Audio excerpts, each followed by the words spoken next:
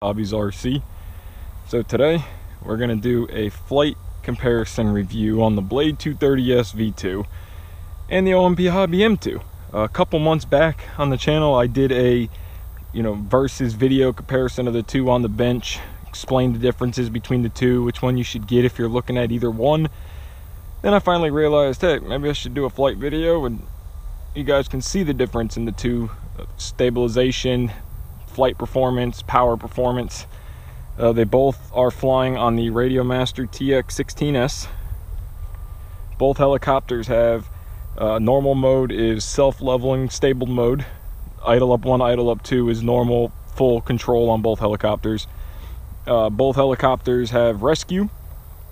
Both helicopters are running everything stock exception of the 230 has carbon main blades and an Align 300X motor but for this video purpose, I went into my idle up one in the radio and I turned the head speed down so it would have around the same power and RPM head speed so it would be a little bit more fair comparison for a bone stock 230S.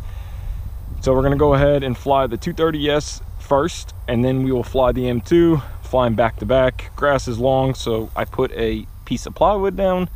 So we're gonna go ahead and move the M2 out of the way for a minute. Uh, let me talk real quick. Flying on a three cell Gens ace 800 milliamp pack. So both helicopters are on 3S. Both are flying on uh, recommended batteries. Oh, this isn't a recommended battery. It's just a Gens ace 800, but it's a very commonly used battery in the Blade 230S world. Stock tail motor, ESC, servos, all that good stuff. So we're gonna go ahead and get up. I already filmed this video once. Um, unfortunately, I had the camera pointed down. I don't know what I was thinking. You can't see the helicopter half the flight. All you hear is me talking. I don't think you guys want to watch it. So I decided to go ahead and record it. And on the M2, ended up breaking a blade grip and the helicopter exploded in flight, which I will put the crash at the end of this video. But unfortunately, the video was worthless Uh, what in the world was that? Anyways, so unfortunately the video is worthless, so I decided to just grab my backup M2, which is this guy, and refilm the video, and I will still put the crash at the end of the video because that's the only thing that's really worth a crap for the whole video. So we're gonna go ahead and spool up again. We are in normal mode. So self-leveling bank angle limits. So since the sun's over there, we're gonna fly over here. Okay. So first off the bat, tail does wag. I have turned the gains down. This is about the best I've been able to get it. I'm gonna try swapping out another receiver. For stability wise, it's pretty solid.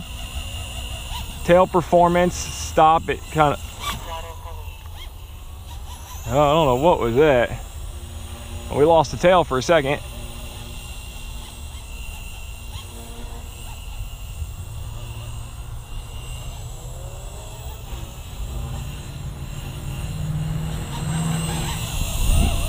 All right, that weird. Okay, so back to the video. So anyways, normal mode, bank angle limits. So if backwards, let off, it kind of drifts. Forward, let off, it kind of just keeps going. So you're gonna go right, let off, it keeps going, left, let off, it kind of just keeps drifting around. So we have bank angle limit still let off. That's about a hands-off hover. It just drifts. It kind of goes with whatever way the wind's going. Tail performance wise when we let off it does stop. It's not a solid stop. Kind of comes back a little bit to the left when we let off. It stops instantly because we have all the power to stop it. To the right we have to catch up. So it kind of bounces back comes back Now, stability wise, the helicopter is, you know, pretty solid. let's go ahead and kick it up into idle up one. So now this will be about the same power as a stock 230. It will do all your 3D inverted solidness. It's pretty good. It does bobble a lot. But that might just be my 230 that bobbles like this. Yours might not do this. but you will get all your 3D performance.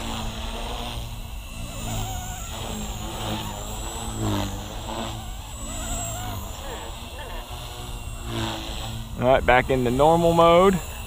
Back under bank angle limits. Under normal flying. Let's see if we can do a hands-off hover here. All right, we go, hands off.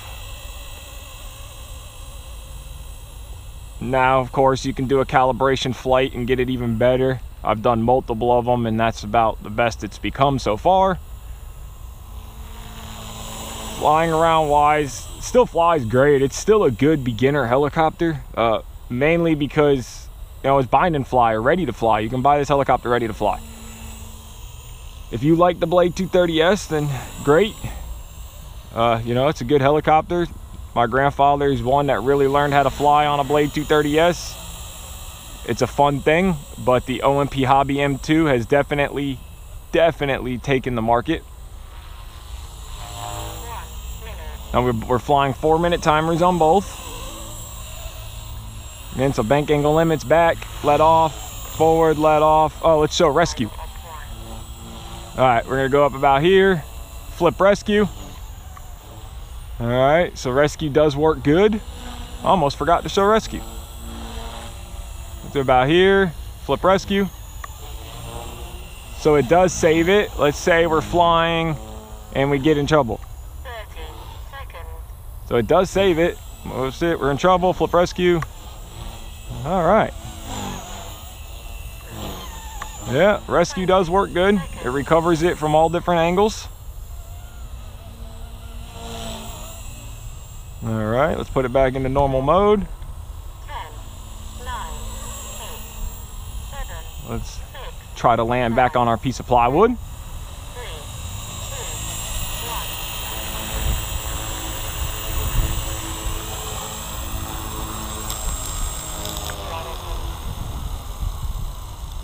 Don't fall over. Oh, dang it.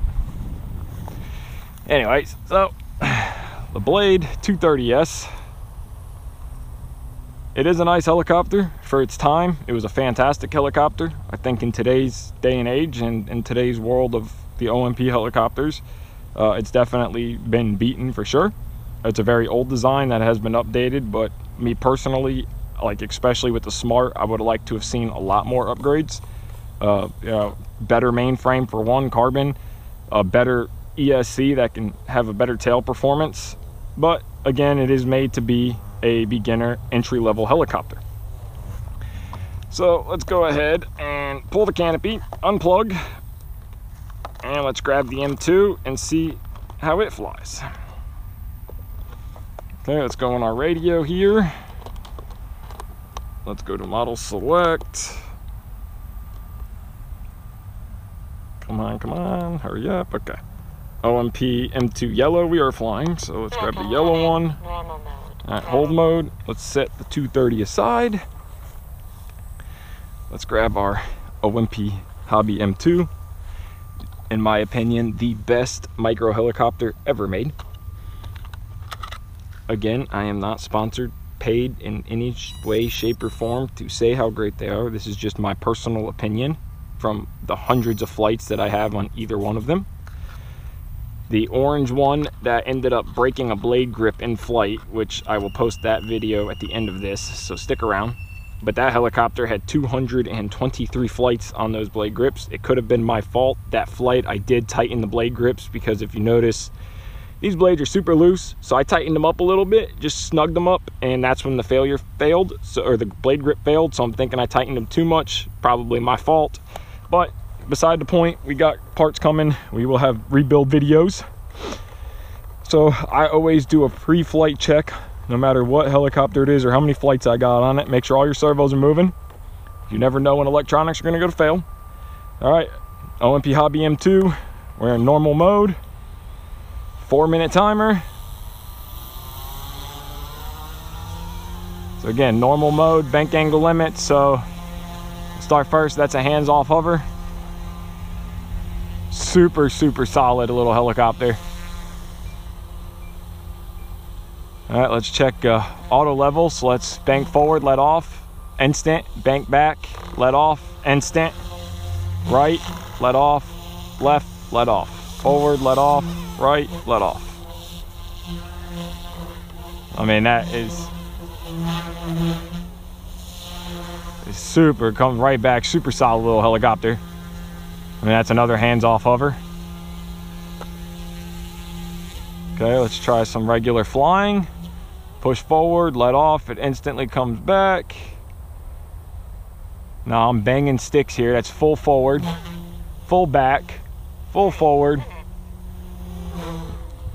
full right.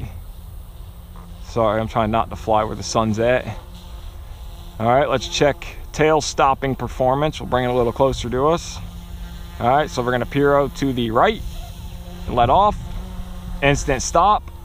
Piro to the left, let off, instant stop.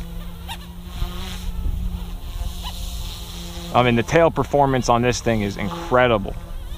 Better than most tail uh, belt driven or uh, torque tube driven helicopters. They really did their homework with tally and all incredible, incredible little helicopters. So we're gonna go ahead and kick it up into idle up one. Again, check tail performance. Right or left Piro, stop, right Piro, stop. Pitch pumps and Piro, let off. Perfect. Now let's do some regular flying around. Now it'll go from crazy to, from normal flying to 3D flying, soft 3D, hard 3D.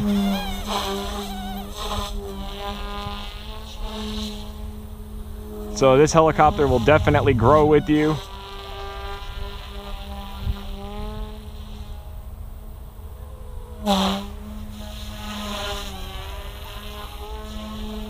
Kick it back into normal mode.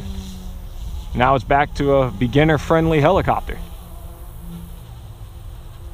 The flybarless unit is super solid.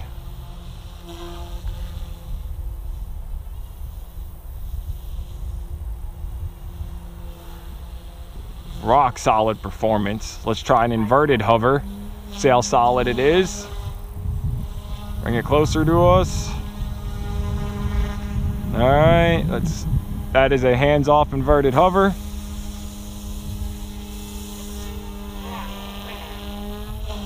All right, while we're in idle up one, let's try rescue.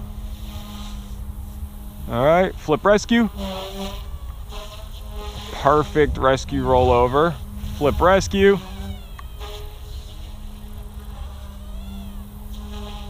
Flip rescue.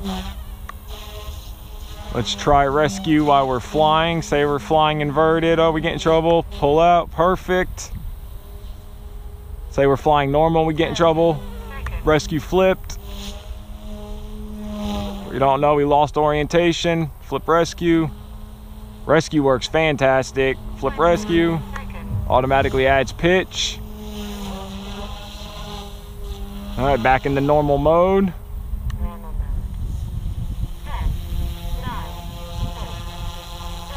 Now we do have some wind.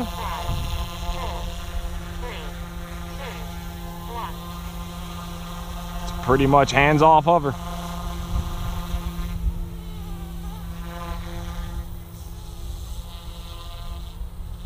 I mean, this thing is just incredible. It's, it's, it's so solid. Like the hell, I just, I can't believe how, for such a small helicopter, how solid and big it flies. All right, let's land it now.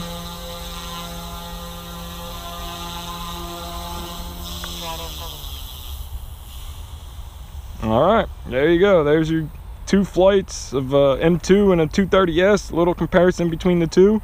You guys be the judge buy any helicopter that you like. If you want a Blade 230S, buy a 230S. If you want an M2, buy an M2. If you can buy both, buy an M2 and an M1.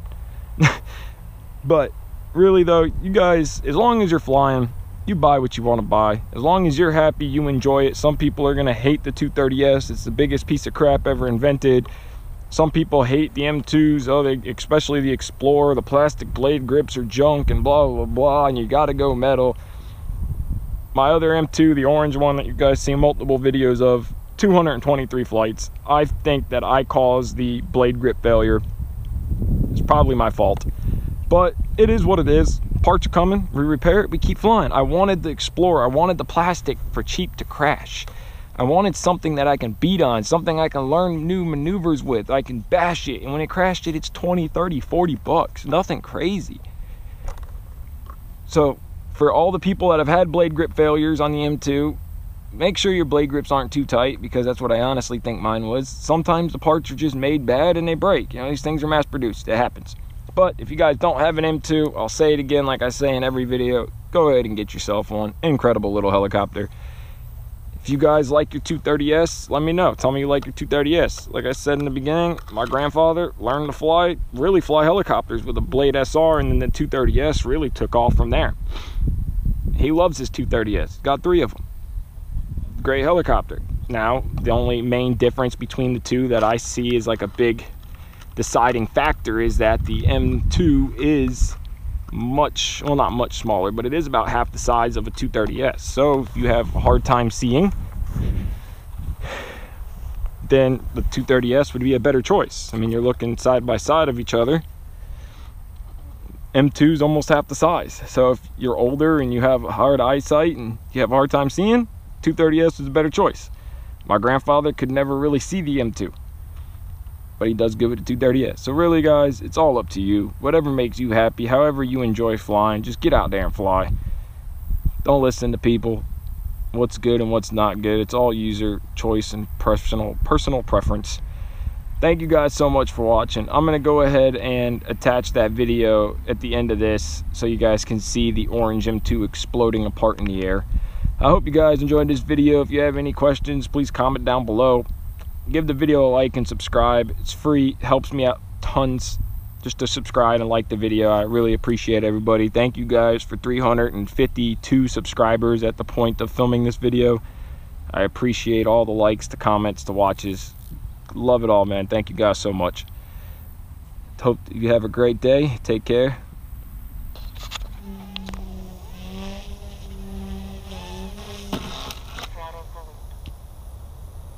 And what was that?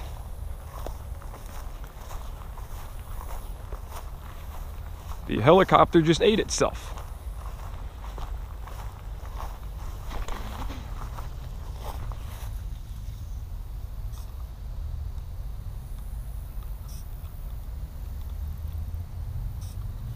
Alright, well.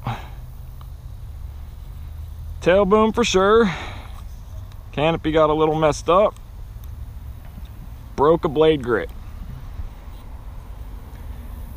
Well now, we have to try to find the tail boom. Oh, here's tail boom. Okay, we found tail boom. Now the one main blade's gone. I do have a ton of flights on this helicopter.